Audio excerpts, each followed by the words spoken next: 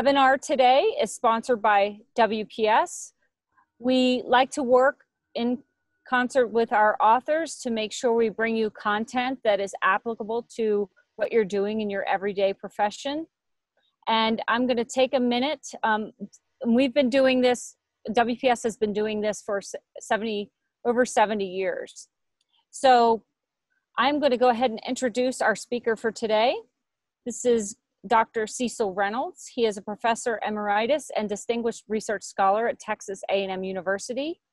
He's earned his doctorate from the University of Georgia under the tutelage of Dr. Alan Kaufman, with a major in school psychology and minors in statistics and clinical neuropsychology. During his long career as an educator, clinician, and researcher, he has developed many highly regarded psychological tests, authored more than 300 scholarly papers, and written or edited more than 50 books including the Handbook of School Psychology, the Encyclopedia of Special Education, the Energetic Brain, and the Handbook of Clinical Child Neuropsychology. He has also been nationally recognized and received numerous awards. The man who does not need any introductions, Dr. Cecil Reynolds. Thank you, Stephanie. Um, welcome, everyone. Uh, first, I, I want to say I appreciate you taking time out of your busy day to spend some time with me uh, to talk about anxiety. I think this is a particularly good time to be talking about that because anxiety is certainly um, on all of our minds as we think about children and youth, especially, but even as we think about ourselves. Um, with the pandemic and other issues in the country now, and uh, schools getting ready to reopen, and in some places actually have reopened uh, I think we're all very anxious about how that's going to play out and what's going to happen with the children that we serve. So I really do appreciate you taking time out from what I know is a very, very busy and stressful schedule. So thank you again. Uh, I do want you to know that at some point today, I will be discussing briefly several tests, including the Revised Children's Manifest Anxiety Scale, second edition, and the Children's Measure of Obsessive Compulsive Symptoms, as well as an intervention manual entitled Strategies for Academic Success. You should know that I'm an author of each of these products and I receive royalties from their sales. I'm going to be as objective as I can be when I talk about them, uh, but ultimately you should be the judge of the quality and value of these materials in your practice. Um, just keep in mind, these are my babies. I'm going to say nice things about them because what do you know about people and their babies? Everybody thinks their baby's pretty, and I'm no exception. So uh, you should take that into account. So let's just jump right in to talk about what is anxiety because it's something we all know and we all know intimately actually from personal experience. There's no one on here today who has not been anxious. So we know what that feels like. It's something we all experience. We experience it in everyday life. We worry and we have concerns for ourselves and others. Most anxiety then is normal. And even fear, which is a specialized form of anxiety, is adaptive in many circumstances. If you're out for a long walk on a trail somewhere and a poisonous snake comes out in front of you up on the trail, you should be afraid. That is a very adaptive response. There are many other situations in our lives where fear inhibits us from doing things that we shouldn't do. But it also can inhibit us from doing things that we should do. Excessive anxiety and fear can be a symptom of a disorder but they can also be a disorder. So, anxiety is one of those unusual states that can be a symptom or a disorder or can be perfectly normal in our daily life. An anxiety disorder typically includes shared features of fear and anxiety that interfere with daily life in some important arena such as school, social settings, jobs, even in our family interactions. And it's this interference with life that pushes anxiety over the line into becoming a disorder.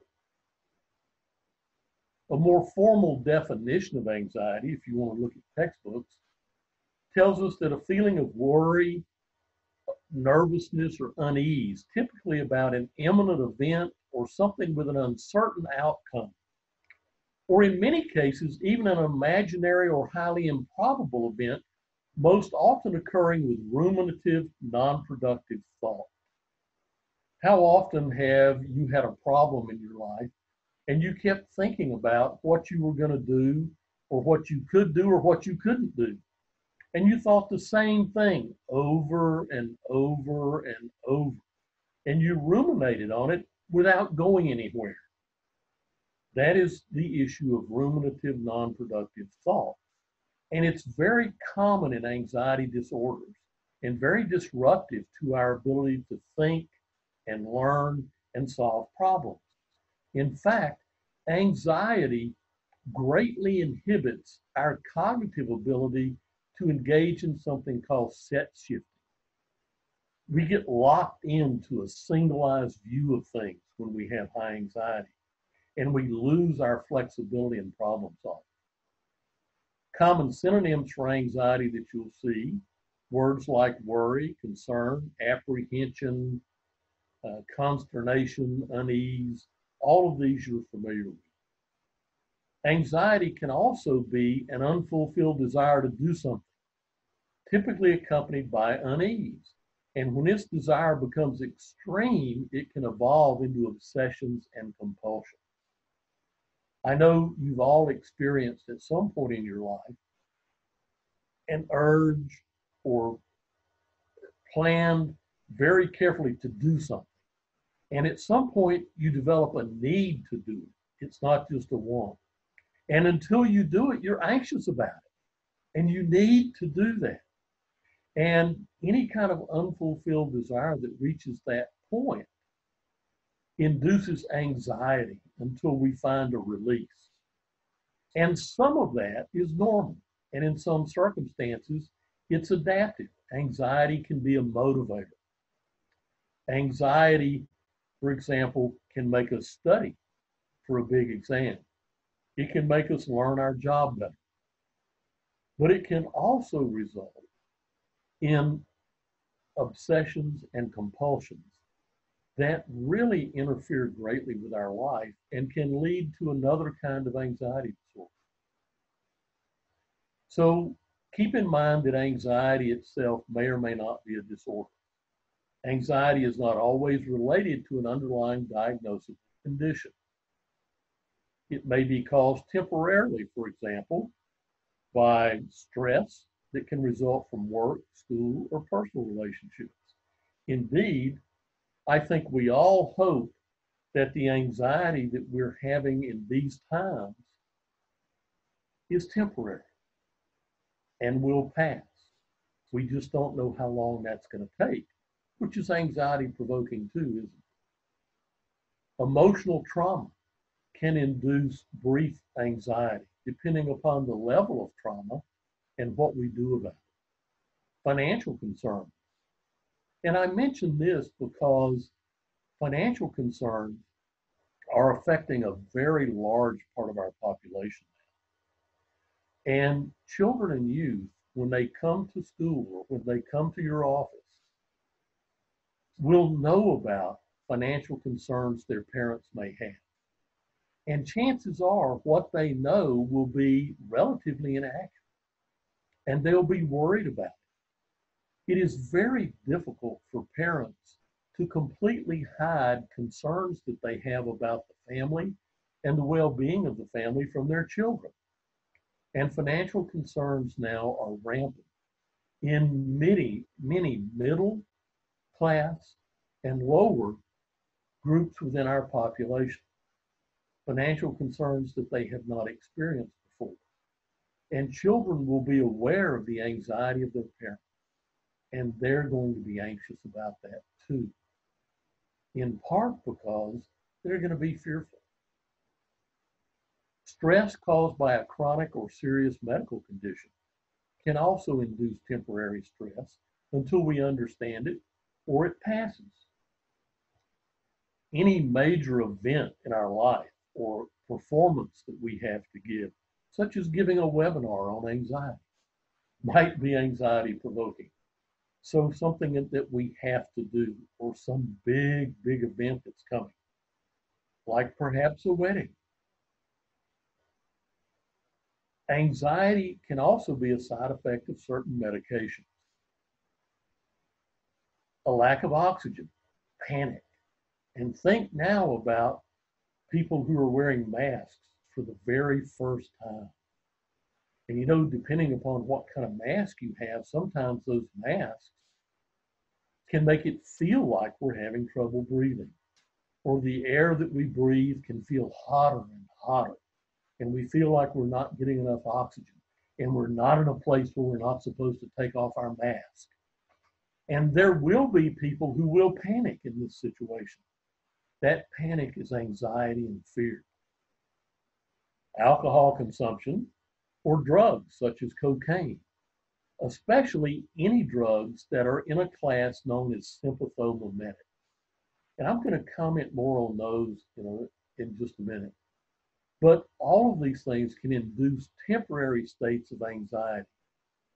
But if anxiety persists over time in response to any of these events, even though it is typically temporary, when it does persist over time and it interferes significantly with important life functions, it becomes a disorder. And it's at that point that we want to be sure that we diagnose it and treat it. So, a quick note for you on sympathomimetics and anxiety. Sympathomimetic drugs are exactly what the word sounds like. I know it's a big, scary medical sounding word, but it is taken from two words. It reflects sympathetic nervous system, and mimetic is a mimic, something that acts like something else.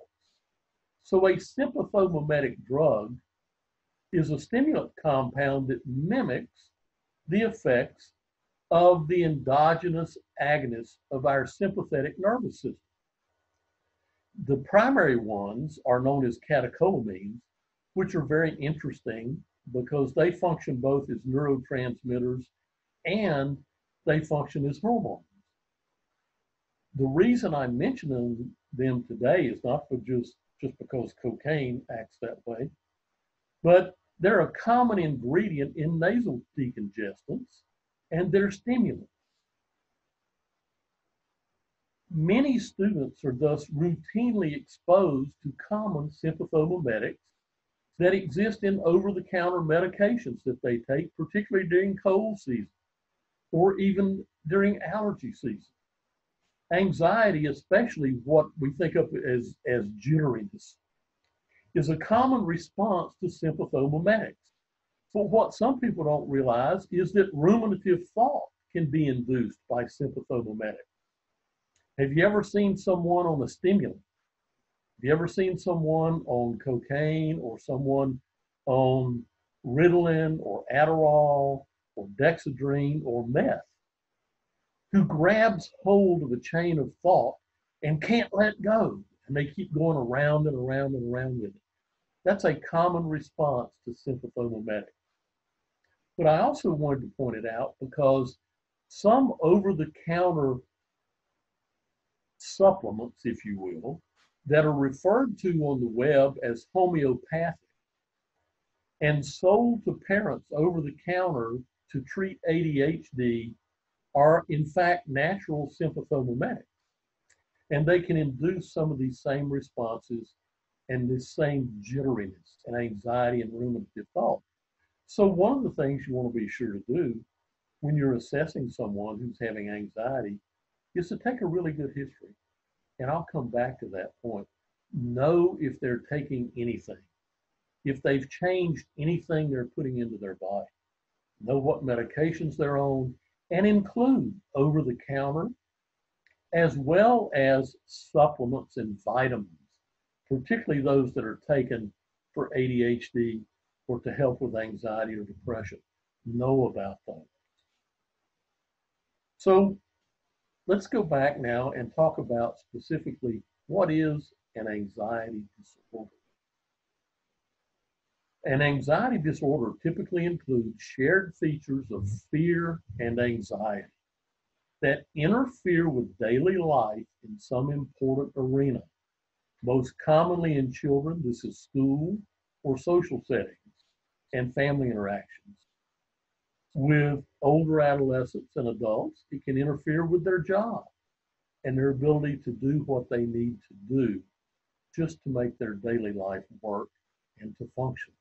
It can even interfere to the extent that people will not leave their home. The presence of functional impairment, though, is the key to when anxiety crosses the line to becoming a disorder that needs to be diagnosed and needs treatment. The DSM-5 really reworked, reworked its section on anxiety disorders. And formally now, anxiety disorders are distinct from other disorders. And those disorders now only include, and they redid this list uh, again in DSM 5, generalized anxiety disorder, separation anxiety disorder, selective mutism is an anxiety disorder, specific phobias and agoraphobia are anxiety disorders social anxiety disorder, or social phobia. Both, again, are anxiety disorders. Panic is an anxiety disorder. It is anxiety and fear at some of their strongest, strongest doses. Substance induced or anxiety secondary to a medical condition is now listed as a distinct disorder. There are other disorders, though, where anxiety is a major culprit.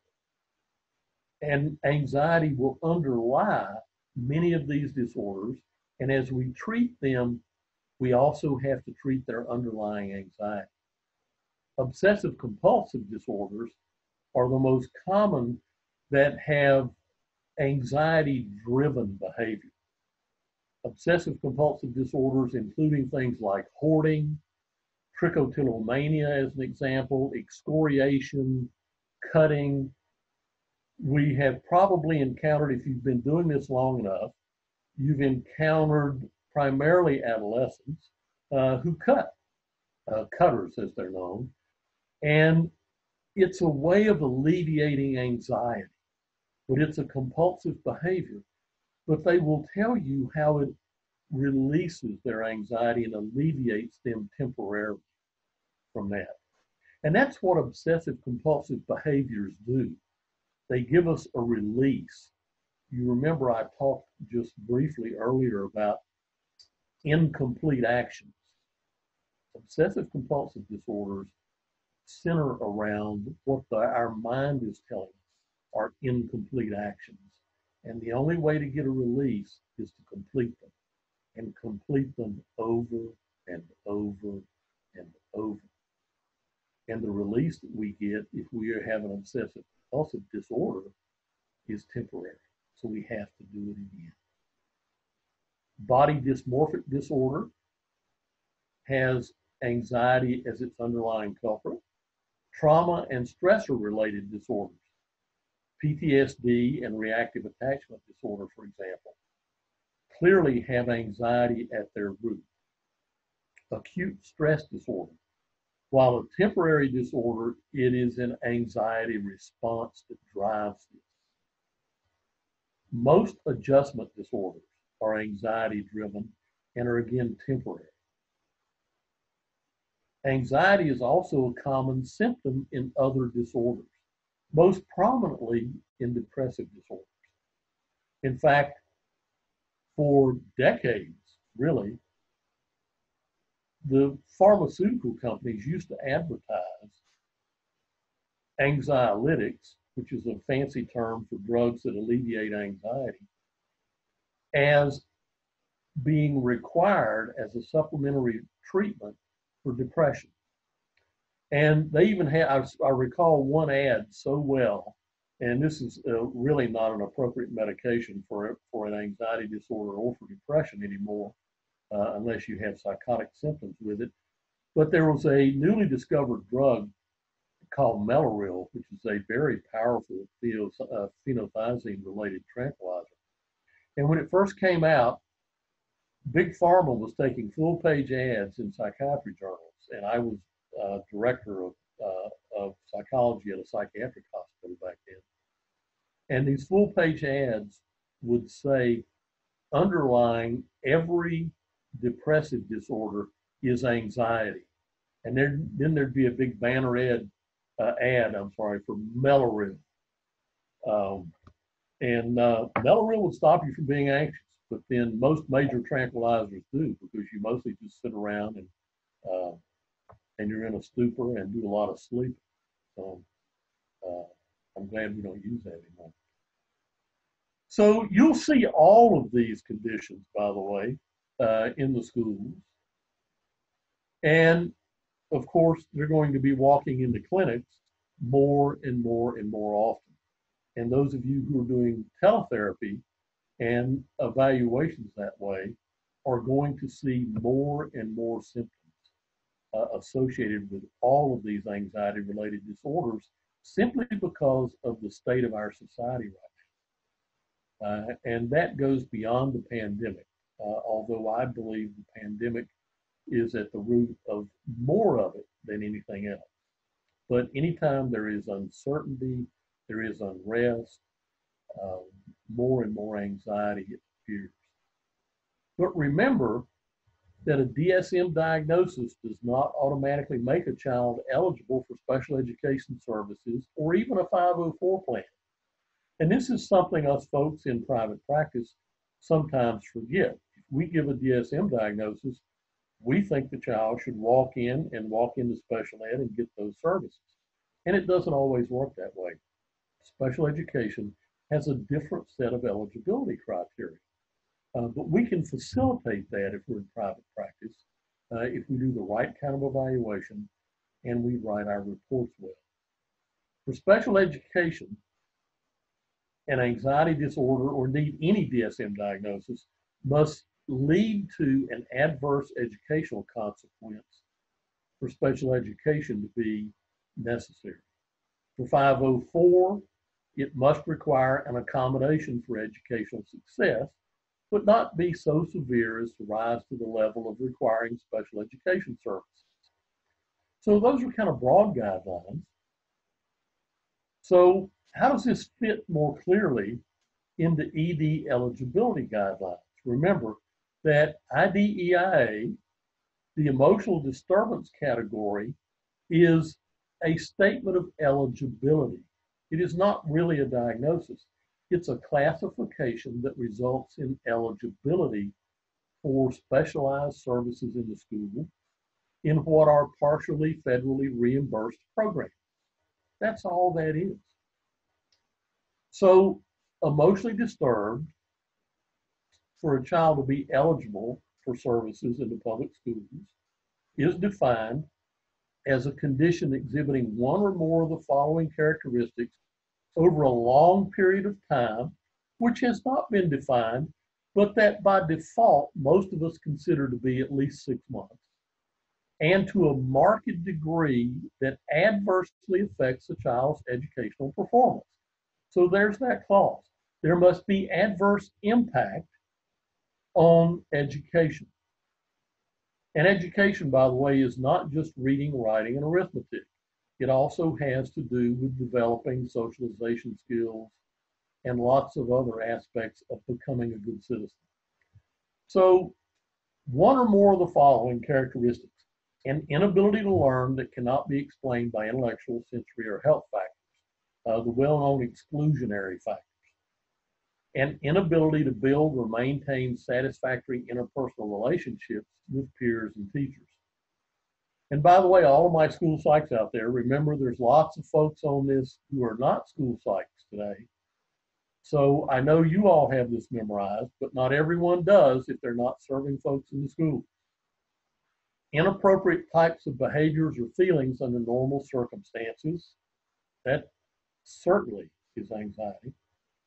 A general pervasive mood of unhappiness or depression. A tendency to develop physical symptoms or fears associated with personal or school problems. The definition goes on to say that the term does include schizophrenia. It does not apply to children who are socially maladjusted unless it is determined that they have an emotional disturbance. And I just want to point out and remind everybody that there are children who are emotionally disturbed who are socially maladjusted too.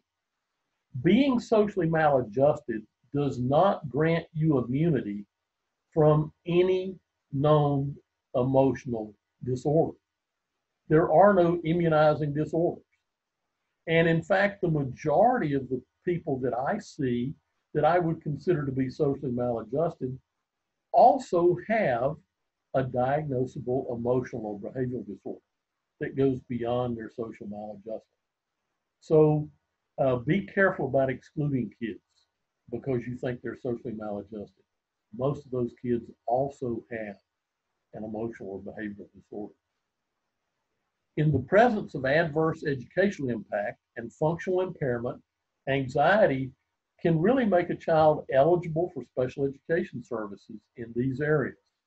An inability to build or maintain satisfactory interpersonal relationships with peers and teachers. If you're really anxious about socialization, for example, you're anxious about being around others, um, you're fearful, you're going to have a difficult time doing that. Inappropriate types of behavior or feelings. Anxiety at the level of functional impairment is clearly an inappropriate feeling under normal circumstances. A general pervasive mood of unhappiness or depression. If you are functionally impaired due to a very high anxiety level, you are unhappy. You simply are. I've never met anyone who wasn't if they met those criteria if their activities of daily life were impaired by a really high anxiety level, they were unhappy.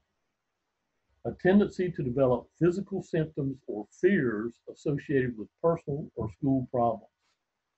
Certainly, all of the phobias, agoraphobia, all of those fall into fears associated with personal or even school problems school refusal, for example, and all the physical symptoms, all the somatic symptoms and somatoform disorders that are out there have an underlay of anxiety. So pay attention to these factors and know that children with anxiety disorders, if they are functionally impaired, can qualify for services under all of these areas. So let's talk a little bit about assessing anxiety. Uh, and I like to talk about the RCMAS2 and the CMOCS when I do that. The Revised Children's Manifest Anxiety Scale uh, is very near and dear to my heart. Um, uh, and I just want to comment on why just a little bit. It was my very first test. Um, my 47th commercially published test is being released the last week of August. And this was my first. Uh, I published the Revised Children's Manifest Anxiety Scale when I was a graduate student. And um, it was one of the most wonderful things I, I ever did. I've gotten so much positive feedback about it throughout my entire career. So thank you all for using it, by the way, and appreciating it and uh, and for sending me the occasional emails and comments that I get about uh, how helpful it's been. So it's very near and dear to me. Also, the children's measure of obsessive compulsive symptoms, which gets at assessing a very specialized set of behaviors that are driven by anxiety. The Revised Children's Manifest Anxiety Scale, second edition, measures the level and nature of anxiety as experienced by children today using a simple yes no format. It is available online. You can do remote administration with this. Um, and it's available in multiple languages, as you'll see momentarily. It is the most frequently used measure of children's anxiety in the English speaking world. It's a 49 item scale, normed for ages 6 years through 19 years. It's also commercially available in Spanish, Italian, and Korean. It is, uh, or has been translated into about 15 other languages under specialized licenses for different applications around the world. If you have need of it uh, for a specialized application, you may be able uh, to get such a license and you can contact um, WPS about that. It is not normed in those other languages, but it is available and normed and standardized also in Spanish, Italian, and Korean. It's available for paper and pencil as well as online administration and scoring. There's a screening short form available as well, although 49 items is not that long, uh, but you can get a short form uh, and use it. It emphasizes, as you might suspect from the title, the manifestations of anxiety in both internalized thoughts and externalized behavior. So we want to see how children manifest their anxiety because knowing how it's manifests is one of the keys to treatment, particularly cognitive behavioral treatments, which are the most effective treatments that we know of for anxiety. The RCMAS2 gives you a total anxiety score, a physiological anxiety score, worry, and social concerns and concentration. We know that anxiety has somatic and physiological effects. It increases heartbeat. In fact, it's common uh, to use certain uh, blood pressure medicines with some people who have anxiety uh, to dampen the physiological response that they have. That's a very common supplement to anxiety treatment. It's used less so with children, but starting with adolescents and adults, it's not uncommon to see uh, certain alpha and beta blockers used. Worry, worry, worry, we know about, and that ruminative thought process, uh, particularly the non productive ruminative thought, and social concerns and concentration. Uh, we get so concerned, we can't concentrate on anything. And that, coupled with worry, can really debilitate our daily life. We also have a 10 item set that looks at performance anxiety and you can uh, see more about this in the manual. Uh, we don't give you a score for this. We didn't scale that in the RCMAS 2. We may or may not on RCMAS 3. Um, but we specifically have items you can look at to look at performance anxiety, and I'll show you those momentarily. We also have two validity scales. Uh, an inconsistency index that will detect children who are not responding reliably to the scale. And we also have a defensiveness index. We I called it the lie scale in the RCMAS, but that's become politically incorrect. It's really a denial scale. It's kids who are just going to be very defensive and not let you know that they have anxiety. They're like, hey, everything's fine in my life. Chances are, if everything's fine, they wouldn't be sitting across the desk. The items that ask about performance anxiety uh, are these. And you'll see that all of these uh, deal with either carrying out some action or being in the presence of others. Uh, so uh, these items specifically look at performance anxiety. We have qualitative descriptors for the RCMAS 2 score ranges. Uh, for example, uh, 71 and higher Typically, that level of anxiety is extremely problematic for an individual. 61 to 70, moderately problematic. 40 to 60, no more problematic than for most students. Although, when you get around that 60 cutoff, you really want to pay attention to that and you want to look at all the subscales. Don't just look at the total score. Uh, if you see elevations on any of those subscales uh, that are above 60, you want to be concerned. 39 and lower, uh, these kids are probably pretty laid back or pretty defensive. So they are experiencing fewer problems than most people in their daily life with feelings of anxiety or any fears uh, that they may have. The children's measure of obsessive compulsive symptoms is newer. We developed this uh, a few years ago. Uh, it's used primarily in clinical symptoms, but I really wanted to talk about it today because it's very useful in school settings, uh, even though it's most widely used in clinical settings. Um, and it's designed to assess obsessive and compulsive behaviors, both actions that we can observe as well as thoughts. And it assesses their impact on the child or adolescent. It's very useful to, for the diagnosis of obsessive compulsive disorders in children and youth, but it's also intended to be useful in assessing the impact of obsessive compulsive symptoms, even in subclinical cases. And as I mentioned earlier, it's not at all uncommon for individuals who have high levels of anxiety to have at least some obsessive or compulsive symptoms, to engage in non productive ruminative thought, to obsess about actions, to feel compelled to do something, and to be anxious if they can't complete it. That feeling of incompleteness that drives compulsive behavior. So we will see that even in individuals who don't have a diagnosable obsessive compulsive disorder, but do have some symptoms that are in concert with their anxiety. It's a 56 item self report scale. It's normed for ages 8 years through 19 years. So it covers pretty much uh, most of the elementary and higher school age ranges. It's paper and pencil only at this time. It's not yet online.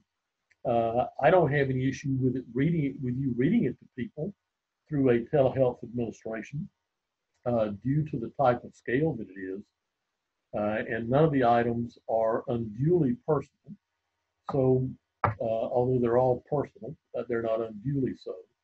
So, I think you could do that in a telehealth environment.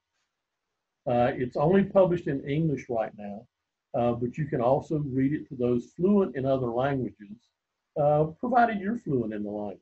Uh, let's make that caveat clear. So, um, the CMOCS provides two summary scores along with six problem area scores. The two global scores are the total problems index and an impact score. So the total problems looks across all areas of obsessive compulsive symptoms with children and youth. And then the impact score, which we felt was really important to have, indicates whether or not these behaviors actually result in some kind of functional impairment. Does it impact your daily life and impair your ability to function? do they have adverse consequences?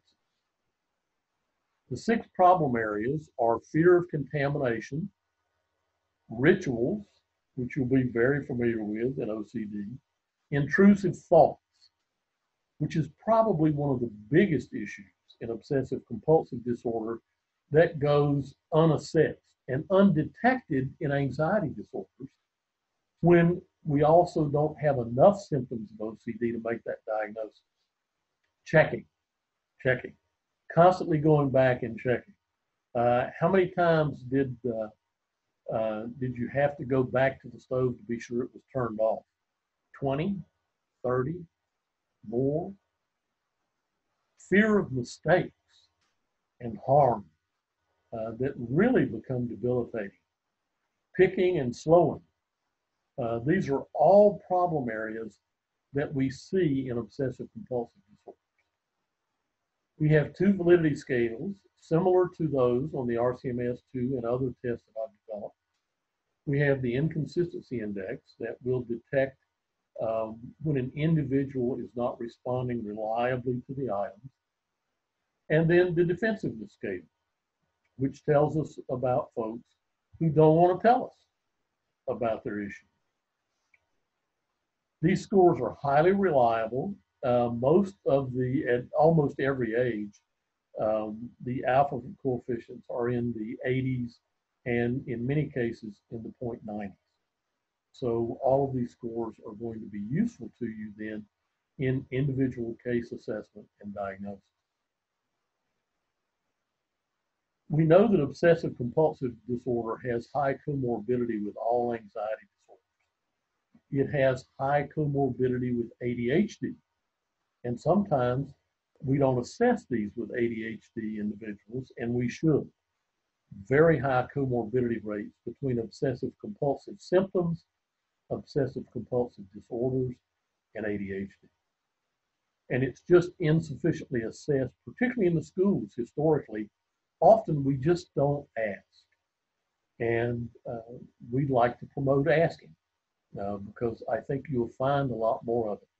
This is not a case where we want to engage in don't ask, don't tell. We need to know. It's more prevalent than believed. Obsessive, uh, obsessive compulsive disorder, if I can make my mouth work, uh, is about a 3% prevalence rate in the population at any given time. So that's more than you're probably diagnosing. So what about ED eligibility and obsessive compulsive? The CMOCS is a good fit to the federal definition of ED as well. The results match up very well to criteria C, inappropriate types of behavior or feelings under normal circumstances. If you have an obsessive compulsive disorder, you're engaging clearly in inappropriate types of behavior and feelings under what are completely normal conditions. There's no question about that. It also matches up well to a tendency to develop physical symptoms or fears associated with personal or school problems. And here, it's really the fear component that is most common in OCD. If I don't do this, if I don't do this and I don't do this over and over and over, I become very, very fearful of what will happen. And it really becomes totally debilitating to some individuals. I saw a young woman once, um, I want to say, uh, now she was about 10 years old, and it took her a minimum of 30 minutes every morning to leave her house and walk out to the car to ride to school with her mother. And this was a very difficult issue for them because she wouldn't let anyone else open the front door for her. And she had to get her hand and fingers on the doorknob in exactly the right position, or she was fearful something really bad would happen when she tried to open the door. And it would sometimes take her a half an hour to determine that she had her fingers in exactly the right position before she would grip and turn the doorknob. And no one else could do that for her, which would have certainly been a simple solution. And this began to generalize to other settings where she couldn't open a door. Um, and that was when I started seeing her. So it's very interesting the manifestations these can take. In RTI, the CMOCS is very useful in setting baseline behaviors and progress monitoring. So you can count these behaviors, how often they occur and how they interfere. And also relate these to a wide array of what can be very unacceptable behaviors at school. And you can determine if these are linked to OCD symptoms or not. A couple of comments on making a diagnosis. Be sure you don't interpret any test data blindly, particularly now. Context is critical. You would certainly interpret this response to a Rorschach card very differently if you knew it came from a flying insect. Uh, sorry, this has nothing to do with it other than the fact that bugs and Rorschachs just seem to go together, and I couldn't resist that. Uh, but remember that history and context are critical in determining test scores. A careful history is the most powerful weapon in the arsenal of every clinician. No matter if we're looking at brain behavior relationships or we're looking at emotional disorders, we have to have a detailed history to get it right. Context is always important. Know the context of the child's life. You may think that looks like dinner, but I promise you to a chicken, that's a horror movie. Know who you're evaluating. Symptoms do not mean the same thing for everyone. It's why we engage in individualized diagnosis. Do not diagnose raccoons with insomnia because they stay up all night. It's part of what they do. If you saw someone with these 13 symptoms, if you saw a nine year old boy who you documented clearly had every one of these 13 symptoms, what would your diagnosis be? I can tell you that all 13 of these symptoms overlap 100% with these three disorders. So, how can you possibly distinguish them? All three of these disorders have a different history and a different context. And even though you've documented all 13 of these symptoms, you cannot get the diagnosis right unless you know the history and the context of the child's life. And no matter what diagnosis, please include parents in your intervention. A recent, very detailed, extensive meta analysis showed that when you include parents as part of the treatment and intervention process for children and adolescents with emotional and behavioral disorders, treatment effects improve between a half and a full standard deviation. And those are big effects in psychology. I'm also, by the way, predicting an increase in test anxiety this coming school year, and I don't think I have to explain why, uh, given all the things that are going on. So I want to spend about five minutes talking about this, and then hopefully we'll have time for a question or two.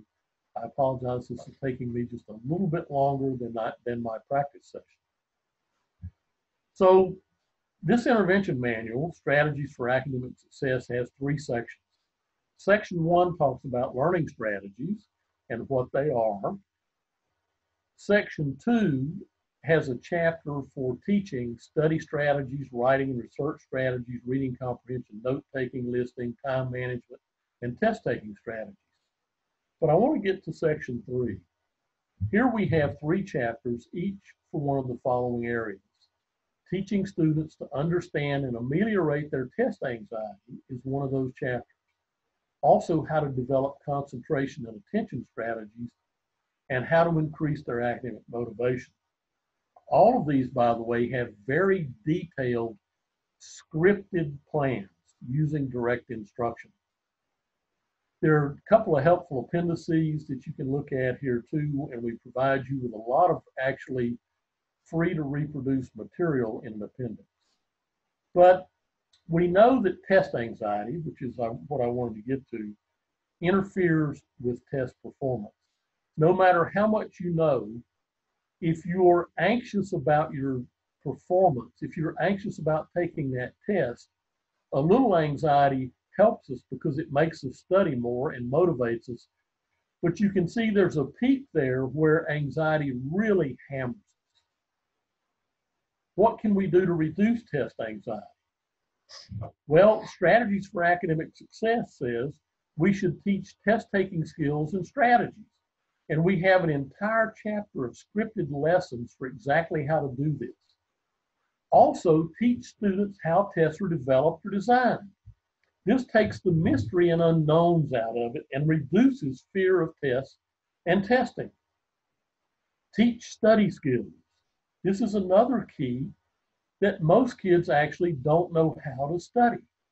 And if we teach them how, it reduces their anxiety about test taking. We have scripted plans for all of this. But also, we have six other strategies for individual students for you to work one on one to overcome or lessen test anxiety, and 12 strategies that are all scripted that you can give to parents to use at home to reduce or eliminate test anxiety. I think those are going to be tremendously useful in the current environment. And these are things you can share with the parent, you can give to them, you can provide them this manual. Uh, it's not a restricted purchase. Um, so it has a great deal in there to direct parents how to do this with their kids at home. When it's truly, truly severe and really severely debilitating, there are another set of strategies that you can employ in more severe and extreme cases. All of these have been sourced from an evidence-based review of effectiveness. So at that point, I'm going to stop. Uh, I did want to be sure we had time for at least one or two questions. And again, I apologize for running a little longer than my practice session. But this is the very first time I've given this talk, so hopefully you'll be understanding. Stephanie, is there any really hot question or two I can deal with? Well, we have 52 questions in the Q&A. Well, um, I can um, do one per second. okay. Uh, I think there are uh, a good number of people who ask several questions that have to do with ADHD and anxiety. Uh, I'm going to give you a two part because it hits on a couple of the questions at one time. And that is uh, how do you distinguish between ADHD and anxiety when some of the symptoms are very similar? And then, would you consider anxiety falling under the special education category of other health impaired? Uh, well, let me take those uh, in reverse order. I would typically not consider anxiety as other health impaired. Uh, if you go back and look at the materials when you get it, I think I showed how you match up anxiety to the current uh, emotional and behavioral disorder um, categories. It's a better fit there to me. Um, if it has induced a medically um, uh, appearing condition, a somatoform disorder, for example, still it's an underlying psychological issue and not a health impairment. Uh, so I would not. But uh, in saying that, I know there are going to be individual cases where I might reconsider that, but it would be unusual. Differentiating anxiety from ADHD requires that you use a broadband assessment to diagnose ADHD because ADHD has co- high comorbidity, not just with anxiety, but with depression, with some other externalizing disorders, and with obsessive compulsive disorder. So you have to assess all of those areas and then look at the dominant features. And that's the only way you're going to differentiate ADHD from the mimics. Certainly, anxiety can make a child look like they have ADHD. That's why narrow band ADHD scales overdiagnose ADHD inappropriately. You need broad band behavioral assessment scales to get it right. And it may be that a child not only has ADHD, but also has an anxiety disorder, or has ADHD and depression, or has ADHD and something else. So we have to look at broadband scales and look at the relative elevations of the different areas. One more. Okay. Uh, how, what advice would you give for those who are assessing preschool children um, when they're suspecting anxiety? With preschool children, when I was assessing anxiety, I made sure I took very, very detailed histories from the parents about any history of change in the child's behavior. And then I actually, at that age, if I suspected anxiety issues, I did a lot of play assessment with kids. I took them in my play therapy room and spent time with them and observed how they interacted in the context of play. Uh, but I'm also I'm I'm certified as a play therapist, so that worked really well for me. So it depends on your skill, but a lot of good observation and extremely detailed histories and pay special attention to any history of alterations in the child's behavior in thinking about anxiety in preschoolers. Someone else asked the question uh, why do you think the DSM 5 took OCD out of the anxiety disorder section since it's underlain by anxiety? I have never understood why this person said. Well, I can speculate that about that all day, but what I can tell you is that it was a huge fight among the author teams and the committees, uh, and it really came down to politics and who had the most power at the time uh, in the back rooms when all of that was being debated. And uh, people who specialized in OCD wanted it pulled out and wanted it made a separate category. But clearly, anxiety is the underlying driving force for OCD. I don't So know, if what- it's, oh. it's three o'clock. I don't know if this is gonna automatically cut us off. I'm happy to stick around for another five minutes and do questions. I uh, don't think. I no, I don't think we'll be cut off. So those who want to Okay. hear the answers to the rest of the questions that we have will be.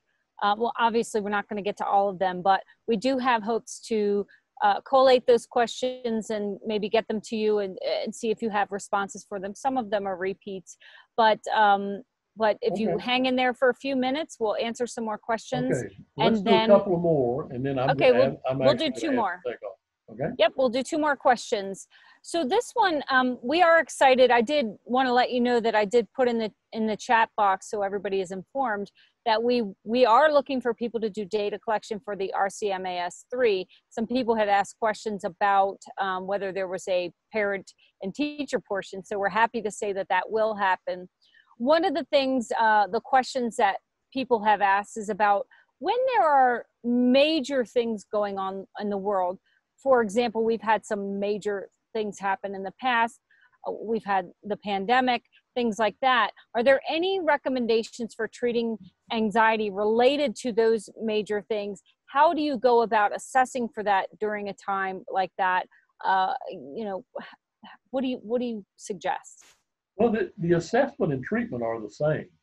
Uh, the diagnosis is different. It's either an adjustment disorder or an acute stress disorder, as opposed to being an anxiety disorder. If it does not go away, if it persists for six months or longer, then it becomes a more chronic anxiety disorder. But in terms of how we assess it, it's the same. We take a really good history. When did it start? When did these symptoms appear? And we can then correlate that with what's been happening in society and changes in a person's life. So we know from the history whether or not the anxiety symptoms that we've assessed and documented the level of anxiety, is it new or has it been there for a long time? That has to come from history and context of the person's life. But we treat them the same way. Uh, again, cognitive behavioral interventions are by far the single most effective in treating anxiety, but there are other methods of treating anxiety as well, uh, depending upon the event that has caused the anxiety. We may engage in other treatments, and and uh, we have treatment manuals out for that, and you will find uh, those elsewhere too. Uh, we don't have time to go through detailed aspects of treatment today, but the measurement and intervention are the same. Okay. You've Uh, got to question- have oh, those, oh, let me just, just reemphasize, I can't say this enough.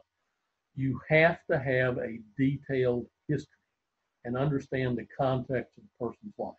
Okay, sorry, go ahead. Sorry, I thought you paused, so I thought you were finished. Uh, was there a difference, uh, any difference found between children with poor reading skills who need that rating scale read to them and those who can read the scale themselves? Was this compared at all? We have not. Uh, we did not do a very large study of that. But when we looked at the data, we looked at it uh, at the younger age groups, and we knew who had had it read to them and who hadn't, and we didn't see any difference in school. Okay, great.